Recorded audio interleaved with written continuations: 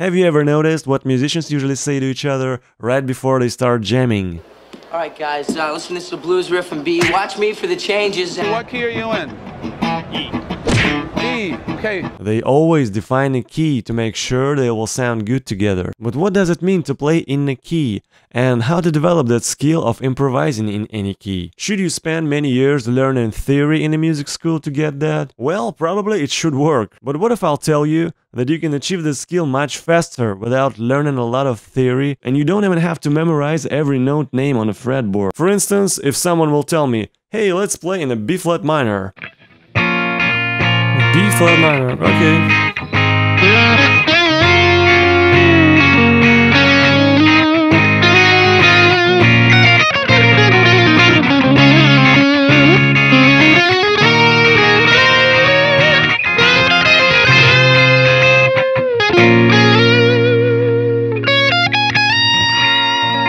So, what is the key? In music theory, the key of a piece is the group of pitches or scale that forms the basis of a music composition.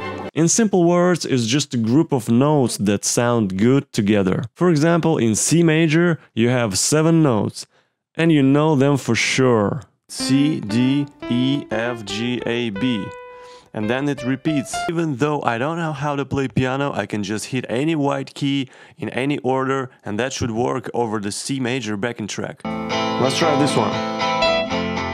Okay, what about that? Look at me, I'm improvising on the piano with no technical skills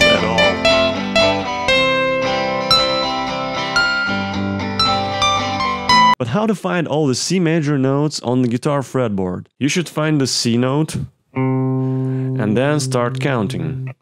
Whole step, whole step, half step, whole step, whole step, whole step, half. Actually, there's a lot of free online tools that can show you all the notes of any key on the fretboard. I like this one, link in the description. Here you can choose the key and it will show you all the notes on the fretboard. For instance, here is C major, F sharp major, B flat minor. But how to be able to improvise without looking at the virtual fretboard? That's what I did. I took all the exercises I knew and adopted them into the key by using only those notes which were in that current key. And every day or once in a few days I changed the key, just like this. So while I was practicing the techniques like alternate picking, legato and so on, I was also memorizing all the shapes and scales automatically. Let me show you an example. Let's say you have this simple exercise. How would you play it all over the neck? Like this?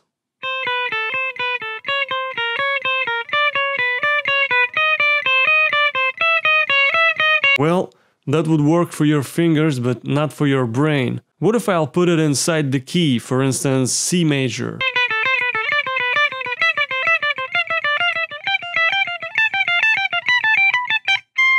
Now it sounds like a music, and you can already apply it over the C major backing track.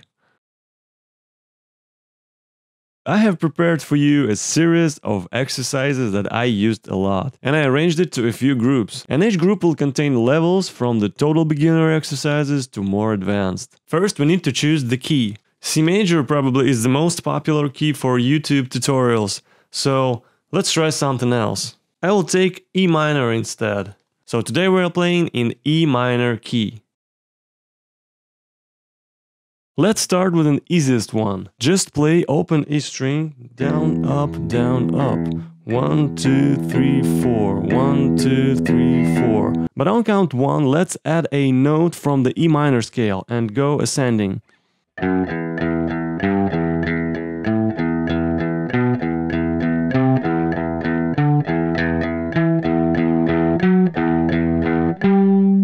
And then backwards.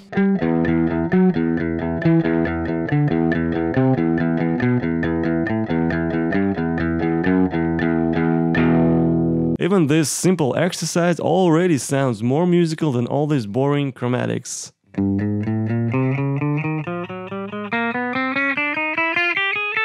Now, let's play a note from the scale on count 1 and 2, and count 3 and 4 will be an open string.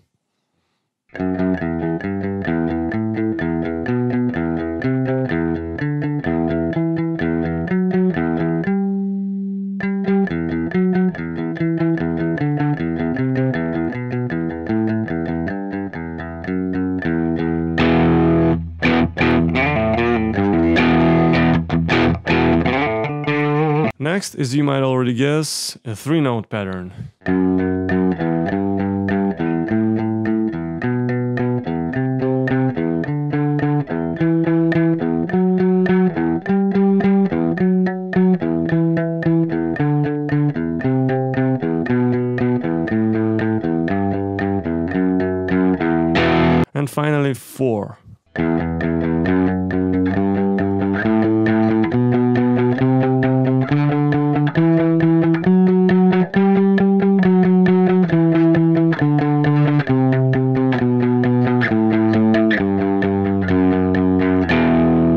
Instead of four hits on each note, let's play only two.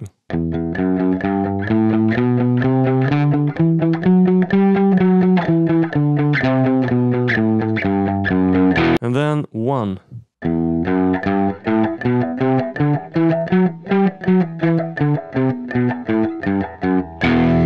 You might notice that it became uncomfortable to play it with only one finger, so let's use all four of them.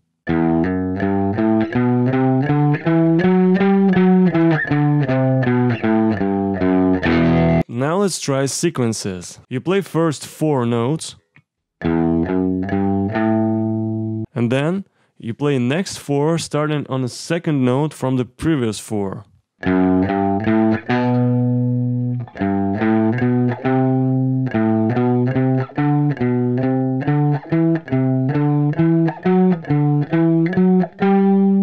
And the same way backwards.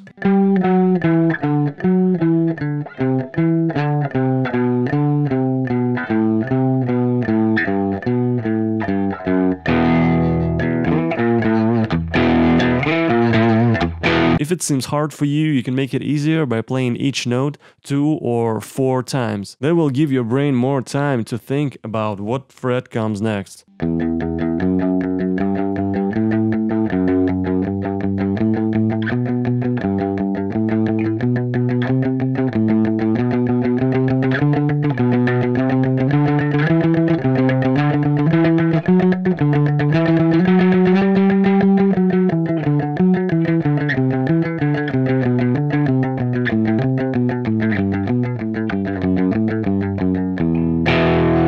Exercises on each string, but using only the notes from the current key, A minor in our case.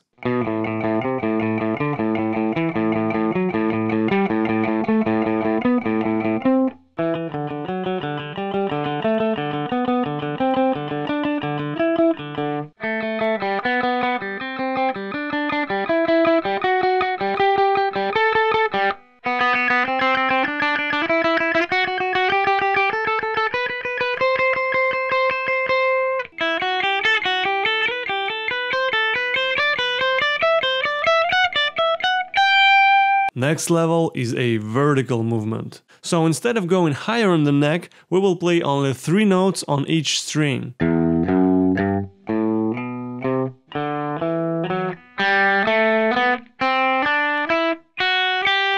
Then I make a slide to the next note of the scale and play the same three note per string pattern but descending.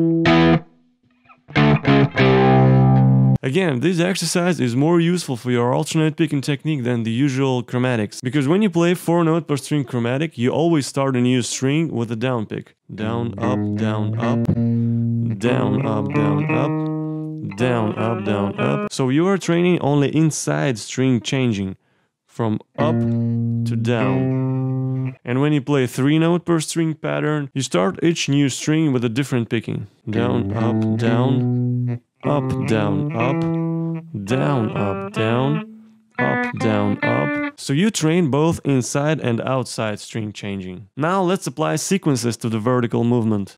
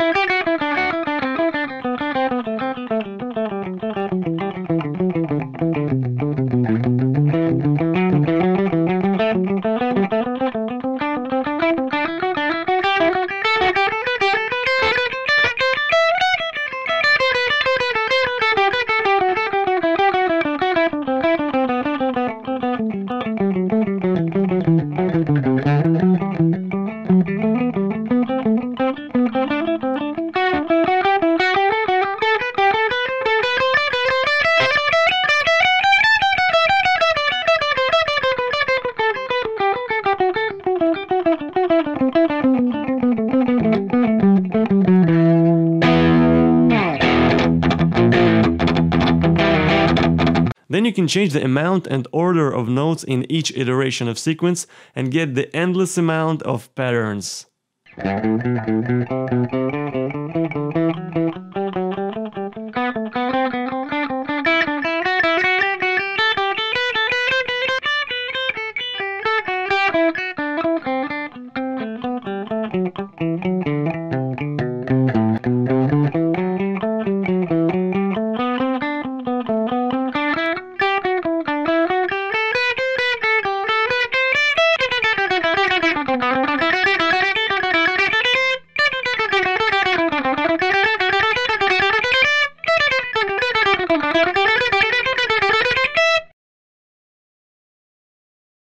Legato is a combination of hammer-on and pull-offs, so let's train them separately and then put together.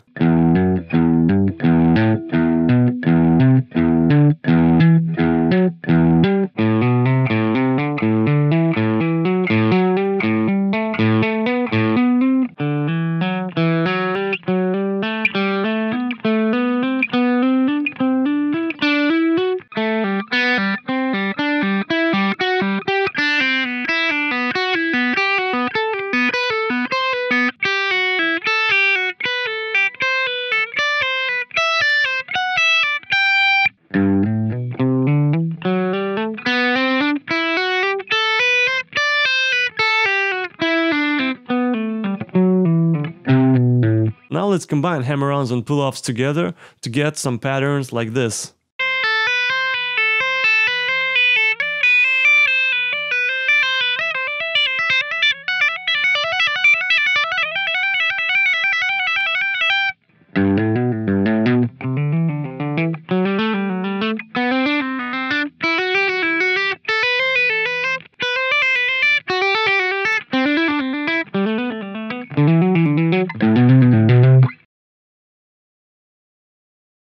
The main thing you need to know about the bends is they always should reach a certain note. The first exercise is very easy. You just hit the note and then reach that same note with the bend from the previous note of the scale.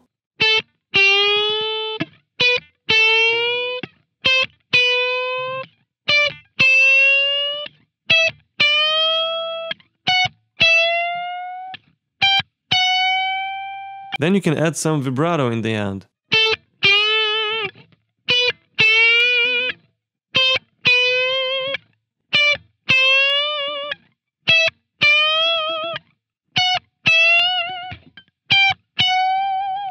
Let's try to make descending bend and then the usual one back to the higher note. This is harder than it seems, because you should already have the muscle memory to guess the right pitch before you hit the note.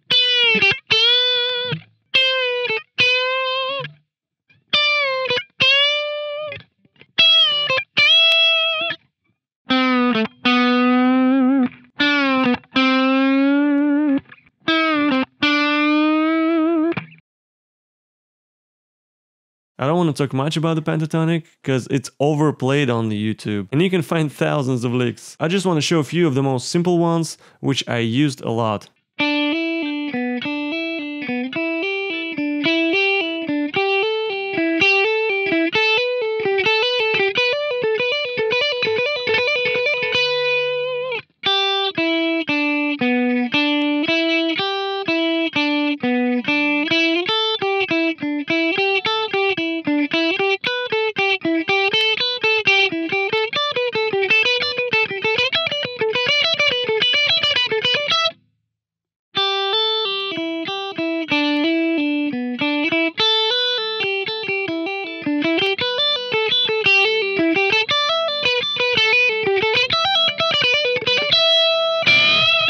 Though I criticized chromatic exercises, it doesn't mean you have to get rid of them completely. I personally use them more as a warm-up exercises.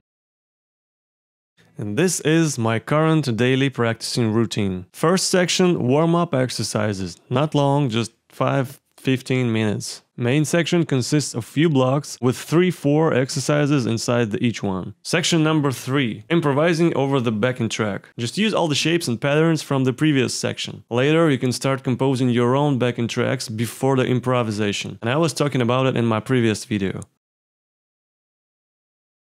If you're a total absolute beginner, don't be afraid to improvise even if you are currently on the lowest technical level. At first your improvisation would be very primitive, just like mine on the piano a few minutes ago.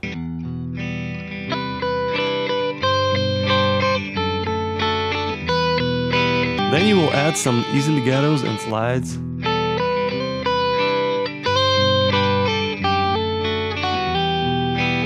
Then you will start using more strings, add some bends, vibratos.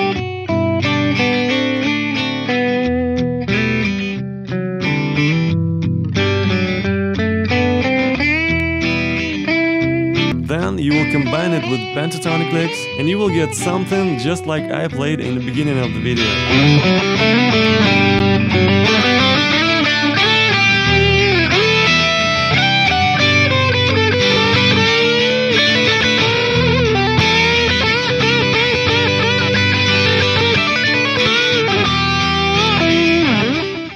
More you improve each technique, the more diversity you will get in your improvisation. And the key will become a map where you can apply all the techniques. At first you can stick with one key for a few days or even weeks, but then you'll be able to change them more often and in the end cover them all. But don't be frustrated with the amount of keys because actually every major key has its relative minor. For instance, G major has all the same notes as E minor. So instead of 24, you got 12 maps to remember. And this 12 actually has all the same shapes. You just shift it up and down the fretboard. So basically, you need to remember one map and be able to shift it depending on the current key. Of course, everything I showed you today is just the beginning of an endless journey of learning music. And there are so many aspects of improvisation and different exercises to dive deeper in every guitar technique and I will do it in my next videos. But in this video I wanted to emphasize that you can start having fun with improvisation even before you achieve any technical skills. Feel free to ask any questions in the comment section or on my Instagram. Also, if you want to support me, you can subscribe to my Patreon and get the higher priority for answering any of your questions. Thanks for watching, keep practicing, and see you later!